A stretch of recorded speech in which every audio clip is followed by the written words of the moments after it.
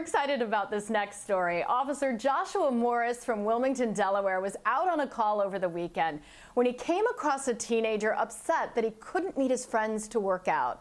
So watch what the officer did. Your money. Last set. There you go. Finish. Finish. Finish. Stay low. Boom. Stay low. Stay low. Stay low. Stay low. One, two, three, four, five, six, seven, There you go. It's a full sprint. Full sprint. Good work. Full sprint to the top of the hill. There you go. Good work, boy.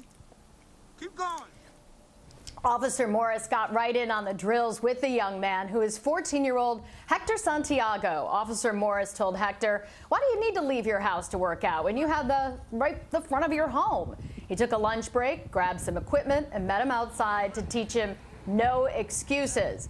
Officer Morris adds that he is beyond proud of this young man, whether you're changing young lives or just simply surviving quarantine. Well, we want to see how you're spending your days in fun and inspiring ways. Send us your photos and videos to 6abc.com slash share. You'll find a link on our homepage or post to social media using the hashtag 6ABC Stay Home. Jeanette, we think that's one viewer video that's going to do very well on social media. It makes everybody feel good. It's really was great of that officer to do. Oh, yeah, yeah. Shout out to Officer Morris. Real quick, though, with uh, little O.